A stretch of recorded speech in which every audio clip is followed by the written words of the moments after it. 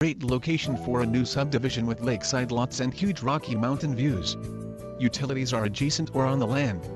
Capstone Village is a gated community that borders this 20 acres.